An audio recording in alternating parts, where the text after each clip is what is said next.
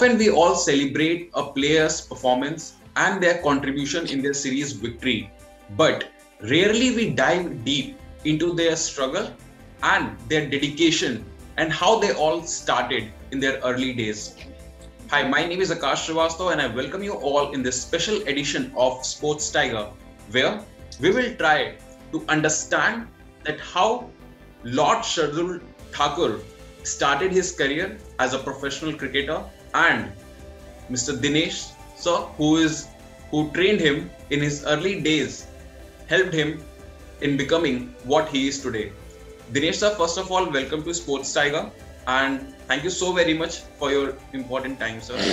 So Dinesh sir, सबसे पहला सवाल मैं आपसे ये पूछना चाहूँगा कि कैसा लगता है जब आप देखते हैं कि एक एक ऑर्डिनरी लड़का शरदुल ठाकुर जिसे आपने ट्रेन किया आपने इतना सिखाया और आज वो देश को रिप्रेजेंट कर रहा है और प्लस देश की विक्ट्री में देश को जिताने में बहुत ही ज़्यादा इंपॉर्टेंट योगदान प्ले कर रहा है।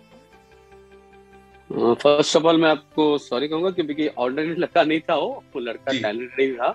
जी। हाँ इसके लिए मैंने उसको मुंबई में लाया था। जी। बट मुझे बहुत खुशी होती कि जिस बच्चे को मैंने बाहर से यानी जिस दूसरे पालघर के यहाँ से मुंबई से ऑलमोस्ट तीन घंटे की दूरी पे जहाँ पर रहता था वहाँ से उसको मुंबई में लाया।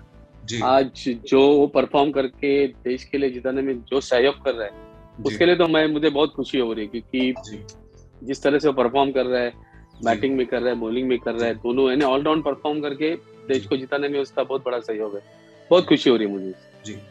दिनेश सर मैं एक चीज़ जानना चाहूँगा कि Shardul Thakur is an allrounder he plays as an allrounder in Indian team so जो एक साइकोलॉजी होती है एक ऑलराउंडर की बिकॉज़ ऑलराउंडर को एज अ बैट्समैन भी परफॉर्म करना होता है एंड एज अ बॉलर भी परफॉर्म करना होता है। और जिस तरीके की क्रिकेट आजकल हो रही है like we have to play test cricket one day and T twenty and also जिस फ्रीक्वेंसी से ये मैचेस होते रहते हैं तो मैं आपसे ये जानना चाहूँगा कि एज एन ऑलराउंडर किस तरीके की प्रिपरेशन बिहाइंड द कर्टन्स होती है, एक प्लेयर को करनी पड़ती है psychologically and also physically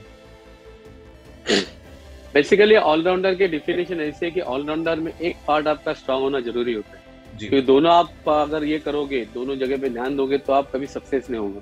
Okay. जैसे कि पहले के पुराने जो ऑलराउंडर थे यानी आप कपिल देव जी को ऑलराउंडर कहते थे जो। कि एक अच्छे बॉलर थे और उसके साथ बैटिंग भी करते लेकिन आप उनके ऊपर फेथ नहीं रख सकते थे कि ये आज जाके मैच जिता के दे वॉट बट उनका कॉन्ट्रीब्यूशन बहुत ही अच्छा होता था। जैसे कि इमरान खान लीजिए वसीम अकरम लीजिए ब्रेट ले लीजिए ये सब ऑलराउंडर कैटेगरी में आते हैं। बट उनसे आप उम्मीद नहीं रख सकते कि बट हाँ उनका स्ट्रॉन्ग पॉइंट जो था उस उस इसमें आप अच्छा परफॉर्म कर जैसे कि कपिल देव सर ने पहले इंडियन क्रिकेटर थे जिन्होंने 434 विकेट लिए थे वर्ल्ड रिकॉर्ड होल्ड किया था। ऐसे अकरम जी उन्होंने भी बैटिंग करते थे बट बॉलिंग में ज़्यादा वो करते थे। वैसे एक शार्दुल एक ऑलराउंडर है बट उसको आप बॉलिंग ऑलराउंडर कह सकते हैं आप। ओके आप उसको बैटिंग ऑलराउंडर नहीं कर कर कह सकते बट उसको प्रिपरेशन करनी पड़ती है क्योंकि बॉलिंग में तो ज़्यादा करनी पड़ती है उसके साथ एडिशनल उसको बैटिंग में भी फोकस करना पड़ता है। ओके ऐसे मुझे लग रहा है। सर जैसे कि अभी आपने बताया कि शरदुल ठाकुर इज़ मेनली एक बॉलिंग ऑलराउंडर है ठीक है?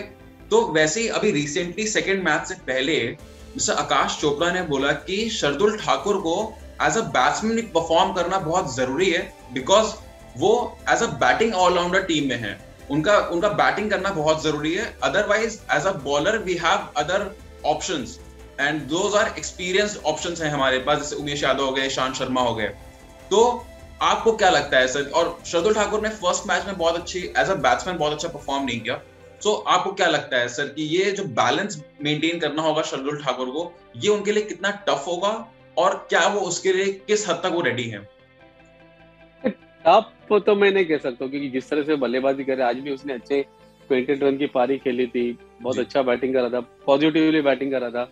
बट मुझे लगता है कि शार्दुल ठाकुर ने एज एन बॉलर ऑलराउंडर भी टीम में खेलना चाहिए जो। एक अच्छा बॉलर है और उसके साथ ही साथ वो बैटिंग भी करता है। जी आपने देखा होगा टेस्ट मैच में अभी तक उसने अच्छे अच्छे विकेट्स निकाले। यानी हम लोग ने जब गाबा टेस्ट में हम लोग मैच जीते थे तभी उसने बैटिंग भी की थी और बॉलिंग भी की थी. बॉलिंग में उसने सात विकेट लिए थे. देन इंग्लैंड में भी हम लोग ने अच्छा किया था. उसने बैटिंग भी की थी दोनों इनिंग्स में but you can't say is a batting allrounder उसके ऊपर इतना भरोसा नहीं करना चाहिए बैटिंग के ऊपर. बट हाँ उसको थोड़ा पॉजिटिवली आप लेंगे तो बैटिंग भी अच्छा कर पाएगा मुझे तो लग रहा है. जी जी. एंड सर शरदुल ठाकुर ने जैसा कंटिन्यूस दिखाया कि उसने ओवरसीज परफॉर्मेंसेज उनकी बहुत अच्छी रही है. तो एज अ कोच आपने बहुत ज़्यादा टाइम शरदुल ठाकुर के साथ स्पेंड किया है. तो आप हमारे दर्शकों को ये प्रोसेस बताइए कि जो जब गेम इंडिया में होता है तब प्रिपरेशन जो होती है और ओवरसीज प्रिपरेशन जो होती है उसमें क्या डिफरेंस होता है सर इंडियन कंडीशन में अगर इंडियन कंडीशन में बॉलर को देखो तो बॉलर स्पिनर्स पैराडाइज विकेट हमारे यहाँ ज़्यादा रहती है। तो फास्ट बॉलर के लिए थोड़ी दिक्कत वाले काम रहते हैं। बट आप ओवरसीज कंडीशन में जाते हैं वहाँ पर क्लाइमेटिक कंडीशन मतलब फास्ट बॉलर के लिए डेफिनेटली जो उनको हेल्पफुल रहती है। तो फास्ट बॉलर के लिए बहुत ही अच्छा आपने देखा होगा कि ओवरसीज कंडीशन में पहले हम लोग जब जब जाते थे हमारे सामने जो टीमें खेलती थी उनके पास अच्छे फास्ट बॉलर रहते थे। जी। तो हमारे को दिक्कत होती थी बैटिंग में बट हमारे पास बहुत अच्छे बल्लेबाज भी थे ऐसे नहीं थे। बट हम लोग मैच कम जीतते थे। बट अभी आपने देखा होगा हमारे पास फास्ट बॉलर की बहुत है ना बेंच स्ट्रेंथ पे भी फास्ट बॉलर बैठे तो तो अच्छा परफॉर्म करे तो जैसे कि अगर उन लोग के फास्ट बॉलर अच्छा परफॉर्म करते उससे ज़्यादा परफॉर्म हमारे फास्ट बॉलर कर रहे तो अभी ओवरसीज में आप, हमारे लोग भी अच्छा परफॉर्म कर रहे थे मुझे लग रहा है। जी, बिल्कुल। तो सर, इसका मेन रीजन आपको क्या लगता है सर, कि जिस, जो हम लोग ओवरसीज में इतनी अच्छी हमारी परफॉर्मेंस हुई है, जो रिसेंट टाइम में, इसका आपको मेन रीजन क्या लगता है सर, कि थोड़ा लीडरशिप स्किल जो है, वो कैप्टन की वजह से कितना कंट्रीब्यूशन है, और प्लस प्लेयर्स जो बेंच स्ट्रेंथ जो हमारी बहुत ही ज़्यादा मज़बूत हो गई है पहले से, वो, इसमें सबसे ज़्यादा कंट्रीब्यूशन आप किसका देखते हैं सर?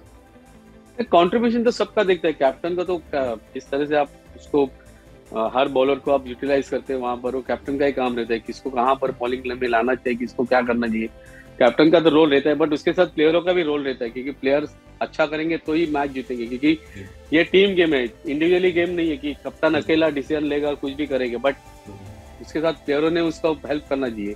जैसे कि अच्छे फील्डर्स ने कैचेस लेना चाहिए बॉलर्स ने अच्छी बॉलिंग डालनी चाहिए बैट्समैन ने अपने बैटिंग अच्छी करनी चाहिए तो टीम गेम में सबका एक अच्छा ये होना चाहिए सहयोग होना चाहिए। तो ही हम लोग जीते और और अभी लास्ट तीन चार साल से मैं देख रहा हूँ कि हमारे बैट्समैन भी अच्छे वर्क कर रहे हैं। बेसिकली हमारे बॉलर्स भी अच्छे कर रहे हैं। जी तो उसके लिए से हमारा जो अभी रिज़ल्ट आ रहा है तो अच्छा ही आ रहा है। बिकॉज़ ट्वेंटी विकेट निकालने के लिए अपने पास अपने अच्छे बॉलर नहीं जा रहे। ट्वेंटी विकेट निकालने के लिए हमारे बॉलर्स अच्छा बॉलिंग डाल रहे हैं। इसके लिए हम लोग ये ओवरसीज में भी मैचेस जीत रहे हैं। जी सर। अच्छा दिनेश सर मैं आपसे एक चीज़ जानना चाहूँगा कि आपके एक, और स्टूडेंट है मिस्टर रोहित शर्मा जो अब व्हाइट बॉल क्रिकेट के जो फुल टाइम कैप्टन बन गए हैं जिनको बनाया गया है। तो आप उनका रोल किस तरह से देखते हैं सर कि एज उनके एज अ कैप्टन उनका जो पास्ट एक्सपीरियंस जो बहुत ही डेकोरेटिव रहा है बहुत ही अच्छा रहा है और आपको क्या लगता है आगे चल के इंटरनेशनल नेशनल क्रिकेट टीम को किस तरीके से लीड कर करेंगे? डेफिनेटली अच्छा ही लीड करेंगे। अभी आपने देखा हुआ टी ट्वेंटी में उसने अभी तक पाँच टाइटल जीते आईपीएल में उसके पहले हम लोग मिडास कप में हम लोग जीते थे एशिया कप में जीते थे। जब जब उसको कप्तान मिले थे अच्छा परफॉर्म किया था उस, उसने। बट मैंने पहले से आपको बताया कि कैप्टन का अकेले का रोल नहीं है कि पूरा टीम का रोल रहता है। जी। और एक कैप्टन काम और क्वाइट रहना चाहिए जिस तरह से रोहित के पास है मैं ऐसे नहीं करूँ कहूँगा कि विराट कोहली ने खराब किया था। विराट कोहली ने भी अच्छा विराट कोहली के अंदर हम लोग बहुत सारे जीते। अनफॉर्चुनेटली सिर्फ़ आईसीसी टूर्नामेंट हम लोग जीते नहीं है। बट ऑलमोस्ट विराट कोहली ने भी अच्छा परफॉर्म किया इंडिविजुअली परफॉर्म किया है। तो कप्तान विराट भी अच्छा था, अभी रोहित को चांस मिला, रोहित भी अच्छा करेगा मुझे लगा। जी। सर, आपको जो डोमेस्टिक सर्किट में सर एज आपको बहुत ही रिनाउंड आप फिगर हो, सर, ठीक है एज अ कोच तो आप क्या हमारे दर्शकों को ये बता सकते हैं कि रीसेंट टाइम में जिस तरीके से हम चेंज देख रहे हैं, जिस तरीके से बेंच स्ट्रेंथ इतनी मज़बूत हो गई इंडियन टीम की तो डोमेस्टिक सर्किट में किस तरीके की प्रिपरेशन कराई जा रही है, किस तरीके का प्लेयर्स को इन्वॉल्व किया जा रहा है और उन्हें मोटिवेट किया जा रहा है ताकि वो आगे चल के एक challenging challenging and crucial situations में भी जब वो परफॉर्म करें तो वो स्टैंड आउट परफॉर्मेंस दें और वो एक अच्छा परफॉर्मर बनकर सामने आए। डोमेस्टिक भी हमारा बहुत अच्छा है। पहले से कि आज का नहीं है डोमेस्टिक में क्योंकि डोमेस्टिक क्रिकेट में अच्छा करने के बाद ही आपको इंटरनेशनल लेवल पे आपको खेलने मिलता था। एक ही एक ही इशू था कि हमारे पास अच्छे फास्ट बॉलर पहले नहीं पैदा हुए थे जैसे कि एक दो फास्ट बॉलर के ऊपर हम लोग डिपेंड रहते थे लेकिन अभी हमारे पास फास्ट बॉलर की स्ट्रेंथ इतनी बढ़ गई है। आप बहुत सारे बेंच स्ट्रेंथ है इंडिया ए के लिए भी बहुत सारे फास्ट बॉलर खेल रहे तो हमारा एक प्लस पॉइंट हुआ है कि हमारे पास एक अच्छे फास्ट बॉलर आ गए और उसके वजह से हम लोग ओवरसीज में जाके फॉरेन टीम को भी अच्छा हम लोग डिफेक्ट कर रहे हैं। इसके वजह से डिफेक्ट कर रहे हैं और डोमेस्टिक क्रिकेट में अच्छा करेंगे। और आजकल अभी ऐसे हो गया है कि अभी क्रिकेट में आईपीएल की वजह से बहुत प्लस पॉइंट हो गया। आईपीएल की वजह से बहुत सारे क्रिकेटर दिखाई देने लगे दुनिया को। यानी हम लोग के सब जो डोमेस्टिक प्लेयर है वो आईपीएल में खेल के अभी तक आपने देखा होगा कि आईपीएल में खेल के भी इंटरनेशनल लेवल का उनको डेब्यू मिल रहा है। तो बहुत अच्छी बात हो रही है। डोमेस्टिक में हमारे बहुत अच्छे बच्चे हैं जिनको आगे जाके मौका मिल सकता है तो सर एक बार आप हमारे दर्शकों को प्लीज़ एक वो वक्त वो फिर से एक बार आप अगर याद कर पाए कि जब आपने शरदुल ठाकुर को जब आपने चुना था और उनके डैड को कन्विंस किया था कि वो आप उनको अपने घर में रखें, क्योंकि ये बहुत ही मुश्किल होता है एक फादर और एक मदर के लिए कि वो अपने बच्चों को किसी और के घर में जाने दे, रहने दे। तो वो क्या क्या, कब मौका था सर जब आप शरदुल ठाकुर को आपने पहली बार देखा और फिर उनके पेरेंट्स को कैसे कन्विंस किया आपने कि वो आपके साथ आकर रहे और आप उन्हें ट्रेन कर पाए? बेसिकली 2005 में हमारे अगेंस्ट हमारे स्कूल के जो अमेरिकन इंटरनेशनल स्कूल है, जिस स्कूल को मैं कोचिंग करता हूँ, उस स्कूल के अगेंस्ट वो खेल रहा था। एक फिफ्टी ओवर्स की मैच थी। वो तारापुर विद्या मंदिर स्कूल से आया था। उस मैच में उसने सेवेंटी एट रन की पारी खेली देन फाइव विकेट निकाले। जैसे कि मैच खत्म होने में बहुत इंप्रेस हो गया कि जिस तरह से उसने गेंदबाजी की थी तो मैं बहुत ही इंप्रेस हो गया था क्योंकि उस वक्त मुझे ऐसे लग रहा था कि शार्दुल वो एज ग्रुप में अंडर फिफ्टीन एज ग्रुप में सबसे तेज मुंबई का गेंदबाज लग रहा था।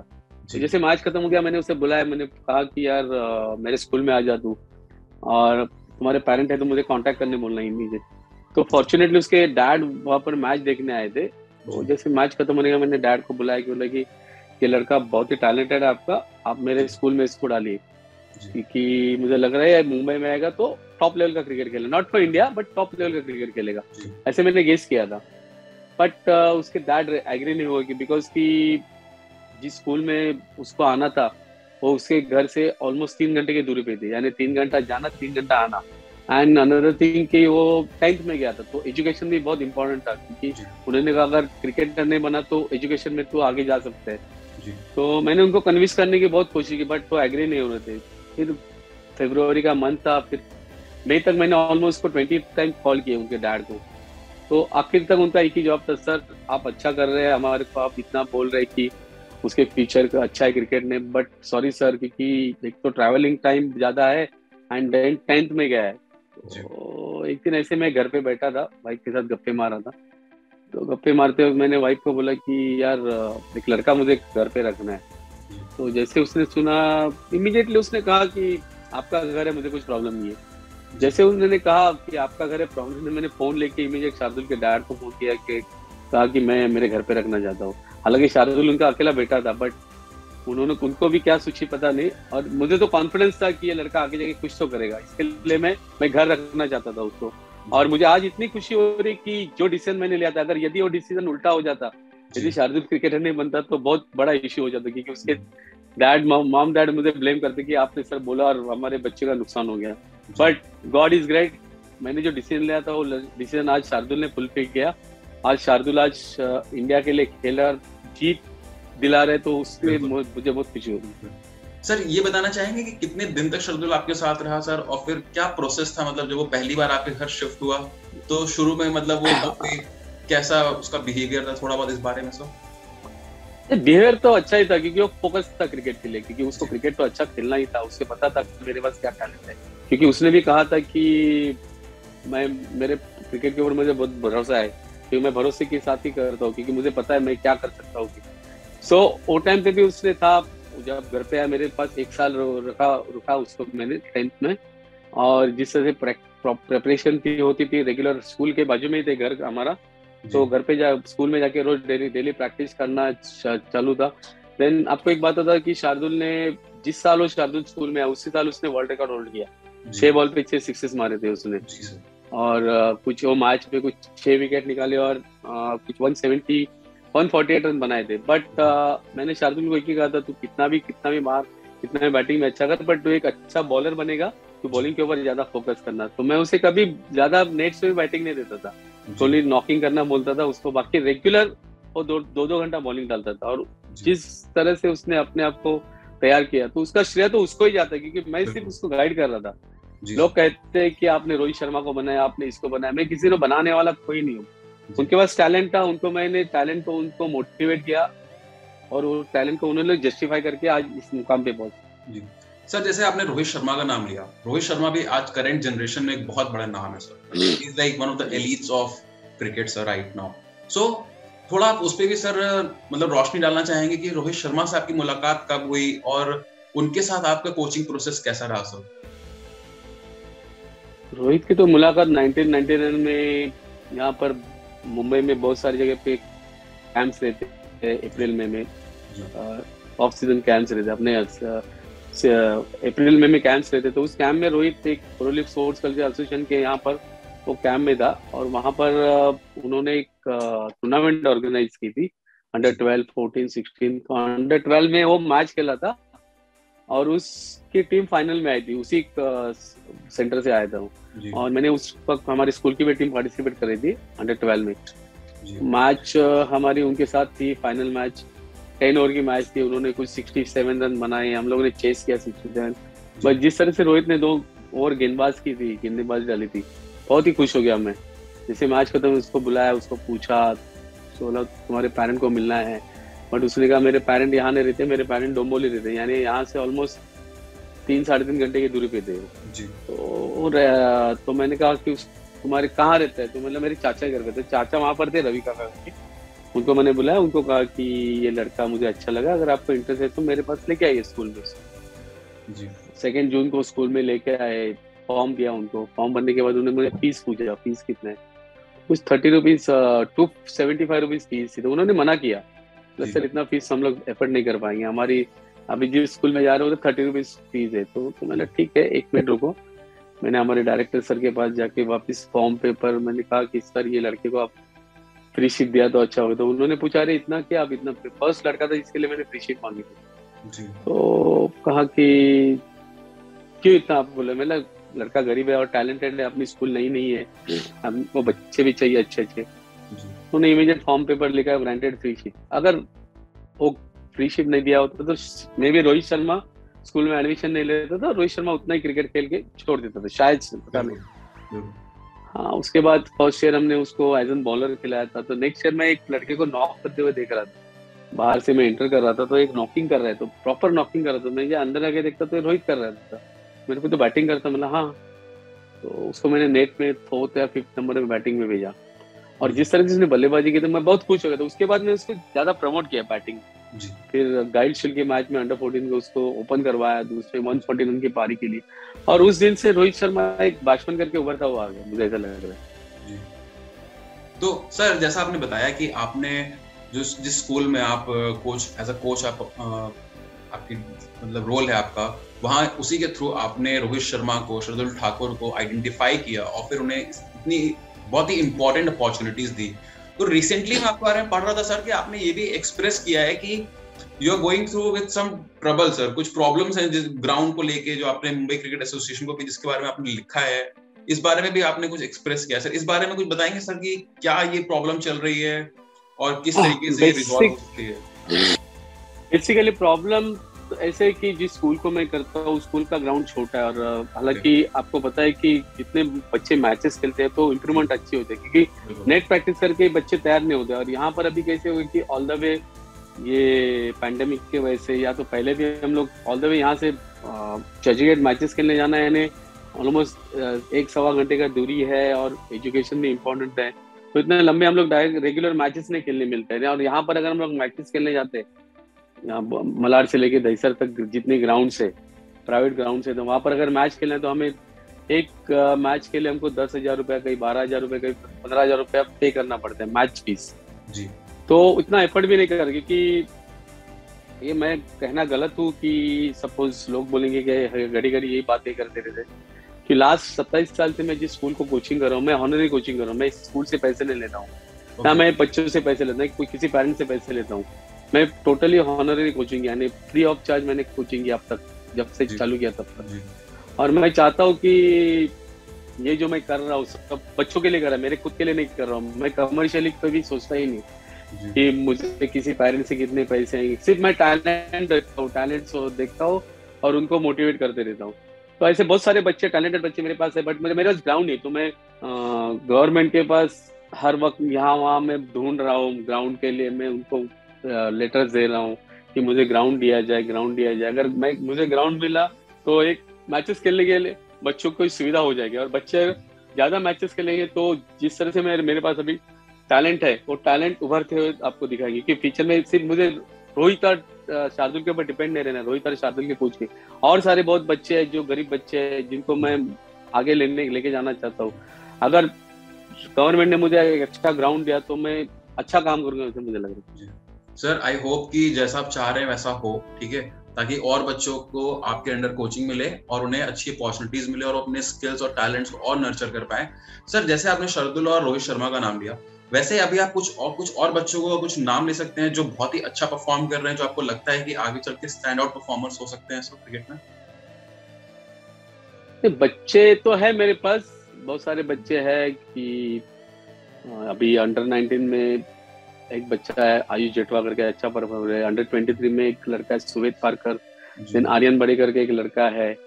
देन अद्वैत लोटी करके एक लड़का है आर्यन सप्पल करके एक लड़का है। अर्नव लाड करके एक देन अर्जुन लोटले कर करके एक लड़का है। अच्छा बहुत सारे लड़के हैं रुचिल पार्कर। बहुत सारे बच्चे हैं जो अंडर फोर्टीन के मेरे पास एक ऐसी बैच है जो फ्यूचर में बहुत टैलेंटेड बैच लग रही है मुझे। Okay. अगर उनको अगर अच्छा ग्राउंड मिले मैचेस खेलने के लिए तो डेफिनेटली उस बच्चों में से एटलीस्ट मुझे ऐसा लग रहा है कि दस बारह बच्चे फ्यूचर में मुंबई के लिए रणजी ट्रॉफी भी खेल सकते हैं ऐसे मुझे लग रहा है। और अभी मैंने दो, दो चार बच्चे ऐसे देखे एक सोलापुर से एक बच्चा आया था मेरे पास छह साल का बच्चा है सोलापुर और पुणे के बीच में गए उसके डैड क्लास फोर एम्प्लॉज है फॉरेस्ट डिपार्टमेंट में। तो उस बच्चे को मैं अडोप्ट करने जा रहा हूँ अभी। Then okay. एक सांगली से बच्चा है जो नाइन नाइन ईयर्स का है। लेफ़्ट हैंडेड बैटिंग करता है। बहुत ही टैलेंटेड बच्चा मुझे लगा। उसको मैं अडोप्ट करने जा रहा हूँ अभी। देन एक उस्मा खान करके साउंड से एक लड़की है। और डेफिनेटली लड़की अगर मुंबई में दो साल से मैं वो लड़की के पीछे बट पैंडमिक की वजह से वो आ नहीं पाई है। तो अभी देखते हैं ये साल मैं उसको लेके आ रहा हूँ मुंबई में। और वो लड़के डेफिनेटली फ्यूचर क्रिकेटर बन सकते हैं मुझे लग रहा है। तो बहुत सारे ऐसे लड़के मैं जाके कहीं कहीं जाके ढूंढते रहता हूँ। एक सब्ज़ी बेचते हैं उनका लड़का है रस्ते पे। एक जो कड़िया काम करते हैं उनका लड़का है। ऐसे बच्चे मैंने ढूंढ के रखा हूँ बट अगर मुझे ग्राउंड मिला तो ये बच्चे बहुत अच्छा क्रिकेट खेलेंगे ऐसे मुझे। Sir let's get back to Shardul Thakur में थोड़ा डिस्कस करते हैं कि सर, मैंने आपका इंटरव्यू देख रहा था, उसमें आपने टेम्परामेंट की बात की थी कि आपने कहा था शरदुल ठाकुर को कि मोर देन योर परफॉर्मेंस अपने मेंटल स्टेटस अपनी मेंटालिटी को माइंडसेट को अपने कंट्रोल करो, तभी तुम अच्छा परफॉर्म कर पाओगे। So as a very renowned coach sir आप इतने बच्चों के साथ काम करते हैं, इतने बच्चों को सिखाते हैं अलग अलग उनका भी एक मेंटल स्टेटस होगा, जिसको आप बैलेंस करने की पूरी कोशिश करते होंगे। और आज का जो वक्त है इंडियन क्रिकेट का सिंस कोविड के बाद से सर आज प्लेयर्स बायो बबल्स में सर्कुलेट करते रहते हैं सर तो आपको क्या लगता है कि जो मेंटल स्टेटस है जो साइकोलॉजिकल जो प्रेशर होता है क्रिकेटर्स का या एनी स्पोर्ट्समैन का वो कितना ज़्यादा इंपॉर्टेंट है और वो किस तरीके का वाइटल रोल प्ले करता है सर उनकी परफॉर्मेंस पे और प्लस उनकी जो दिनचर्या होती है उसमें सर डेफिनेटली बायो बबल की वजह से बहुत ही प्रॉब्लम्स हो रहे हैं रूम में अकेला बैठना बहुत प्रेशर रहता है तीन तीन दो दो तीन तीन महीना एक ही रूम पे आपको बैठे रहना पड़ता है। बट आप आफ्टर ऑल आप प्रोफेशनल क्रिकेट खेल रहे हो तो प्रोफेशनल क्रिकेट खेलने के लिए आपको तो ये सब करना ही पड़ता है। आपका मेंटल स्टेटस आपने अगर स्ट्रांग नहीं रखा तो प्रॉब्लम है। आपको एक बात बताता हूँ कि जब शार्दुल पंजाब किंग्स इलेवन पंजाब के लिए जब सिलेक्ट हो गया था तभी मैंने उससे मुझे बहुत फ़ोन करता था कि टीम में खेलने नहीं मिल रहा है। एकदम बोर हो रहा हूँ मैं। तो मैंने उससे कहा था देख तू किंग्स इलेवन पंजाब ने तेरे नाम का बोल वाला है। अगर तेरे को कभी चांस मिला तो अच्छा परफॉर्म करने में क्योंकि तू ऐसा मत सोच तू तू अच्छा प्रैक्टिस कर रहना वहाँ पर को अच्छा प्रैक्टिस करने मिलेगा क्योंकि इंटरनेशनल प्लेयर भी वहाँ पर खेल रहे हैं। तो प्रैक्टिस में रहना अच्छी तरह से। उसके बाद उसने उससे मालूम पड़ा कि नहीं सर कह रहे बराबर कर रहे क्योंकि अगर मैंने अपने आप को पर ध्यान नहीं दिया तो मैं दूसरा कौन खेल रहा है क्या कर मैंने उसे ही किया तू कॉम्पिटिटर मत देखना अपने लिए। कौन मेरा कॉम्पिटिटर है क्या? तू अपना परफॉर्मेंस करते रहना अपना प्रैक्टिस करते रहना। आज जिस मुकाम पे पहुँचा तो क्रिकेट की वजह से ही पहुँचा। तो उसको जस्टिफाई करना उसको टाइम दे देना। तो उसने उसके बाद जो टाइम दिया उसके बाद पूना वारियर ने उसने जिस तरह से परफॉर्म किया तो उसके बाद वो ऊपर ही चढ़ते गया। उसने अभी नीचे उतरना देखा ही नहीं क्योंकि बहुत अच्छी बात है कि जब से वो ऊपर चढ़ते गया तो ऊपर ही चढ़ते गया। और थैंक्स टू महेंद्र सिंह धोनी भी महेंद्र सिंह धोनी ने भी उसको अच्छा प्रमोट किया है। अभी भी उसको विराट ने भी अच्छा प्रमोट किया शास्त्री जी ने भी अच्छा प्रमोट किया यानी सब उसको सपोर्ट कर रहे हैं। क्योंकि जिस तरह से परफॉर्म कर रहे तो बिना सपोर्ट के ये परफॉर्म नहीं हो सकते उसके ऊपर पूरा उन्होंने फेथ रखा कि ये लड़का अच्छा कर सकता है। तो? इसके लिए अच्छा इतना अच्छा परफॉर्म कर रहा है मुझे आपको लगता है कि एक कैप्टन का कोच का भी प्लेयर्स को बैक करना और उन पे फेथ रखना बहुत इम्पोर्टेंट है? डेफिनेटली बहुत इंपॉर्टेंट चीज़ है। अभी अभी मैंने सुना कि राहुल द्रविड़ जी ने एक स्टेटमेंट दिया था कि किसी ने उनको क्वेश्चन किया कि अभी चेतेश्वर पुजारा अजिंक्य रहाणे विराट कोहली का परफॉर्मेंस नहीं हो रहा है। बट उन्होंने कहा कि जब हम खेलते थे तब हमारा भी परफॉर्मेंस कभी कभी नहीं होता था। क्योंकि उनके पास टैलेंट है हमें पता है एक बार वो पिक में आ गए तो किसी को सुनेंगे नहीं। और आज उन्होंने प्रूव करके बताया ना विराट अपना अजिंक्य रहाणे और दोनों ने साठ अच्छी अच्छी बल्लेबाजी की जिस विकेट पे बहुत डिफ़िकल्ट बल्लेबाजी हो रही थी उस विकेट पे अच्छी पॉजिटिव बल्लेबाजी की और उन्होंने प्रूव करके बताया राहुल जी का जो उन्होंने उनके ऊपर फेथ रखा है तो बहुत बड़ा रोल रहता है कि कप्तान और कोच का। बिल्कुल।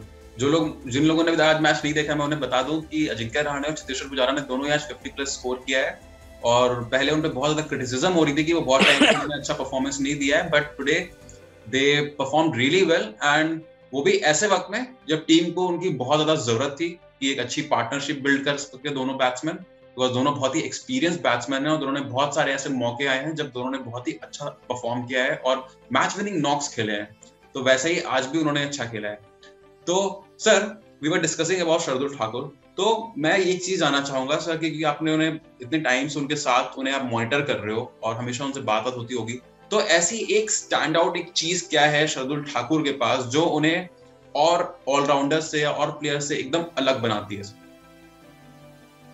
सबसे पहले अच्छी बात है उसके उसके खुद के ऊपर बहुत फेथ है अपने ऊपर। क्योंकि हर प्लेयर को अपने ऊपर खुद के ऊपर फेथ होना बहुत ज़रूरी है। क्योंकि अगर मेरे ऊपर फेथ नहीं तो मैं आगे नहीं जा सकता। कि उसका पॉजिटिव थिंक है और वो उसने ये भी कहा कि मैं हर मैच खेलने जाता हूँ तो मैं जीतने के लिए खेलता हूँ मेरे को हारना पसंद नहीं है। तो ये सबसे बड़े इसके पास उसकी देन है क्योंकि हर मैच में देखो उसका कंट्रीब्यूशन बहुत अच्छा रहता है।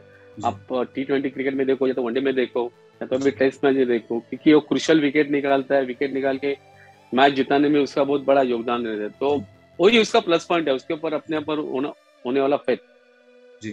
सर इस साल टी ट्वेंटी वर्ल्ड कप होने वाला है सर ओके एशिया कप के भी मैचेस होने वाले हैं। तो आपको लगता है Shardul Thakur is going to perform is going to be in the team और उनका जो रोल होगा वो बहुत ही ज़्यादा इंपॉर्टेंट होगा? डेफिनेटली इंपॉर्टेंट रहेगा क्योंकि टी ट्वेंटी क्रिकेट में वो बल्लेबाजी भी अच्छा कर रहा है अच्छा हार्ड हिटर है। जी। तो बल्लेबाजी में अच्छा करेगा। बॉलिंग में तो कर ही रहा है। आपने देखा होगा उसको लॉर्ड शार्दुल इसीलिए कहा जाता है कि एक ओवर में दो दो विकेट निकाल दे। तो ये परफॉर्मेंस को कंटिन्यू करके देश को जिताने में बहुत बड़ा सहयोग करेगा मुझे लग रहा है। जी। सर मेरा आखिरी सवाल आपसे दिनेश सर ये है कि मैच अभी चल रहा है इंडिया बहुत ही मतलब डोमिनेटिंग पोजीशन पे है इस वक्त बट लास्ट डे इंडिया को विकेट्स लेने होंगे to win the match so आपको क्या लगता है कि क्या हिस्टोरिक विक्ट्री होने वाली है साउथ अफ्रीका के अगेंस्ट इंडिया की जिसमें शार्दुल ठाकुर का भी रोल इंपॉर्टेंट है? शार्दुल मैं शार्दुल के बारे में नहीं कहूँगा कि सबका रोल इम्पोर्टेंट है सब गेंदबाजों का रोल इम्पोर्टेंट है।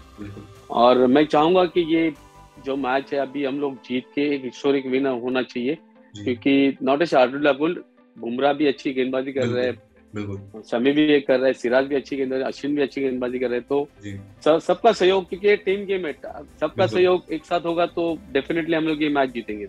जी। सर बस मैं एक लास्ट चीज़ पूछना चाहूँगा। कि आपकी आने वाले टाइम में शर्दुल ठाकुर से क्या एक्सपेक्टेशन है सब? एक्सपेक्टेशन वही है जिस तरह से अभी तुम परफॉर्म कर रहे हो वही कंटिन्यू करना देश को जिताने में हर वक्त तुम्हारा सबसे ज़्यादा सहयोग हो यही मैं चाहूँगा thank you very much sir thanks a lot sir for taking your important time and giving it as to thank you so much.